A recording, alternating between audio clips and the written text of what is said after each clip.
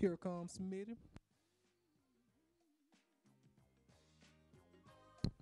They're all out with the early lead at the seven, followed by the four, three, five, eight, two, and one.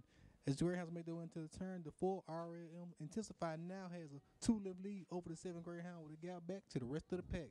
As the Greyhound race toward the wire, the four RLMs Intensify will pick up the win, and a five will overtake seven for place.